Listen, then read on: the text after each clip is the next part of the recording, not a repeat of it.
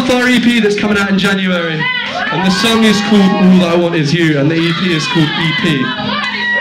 Called the Magic Gang EP.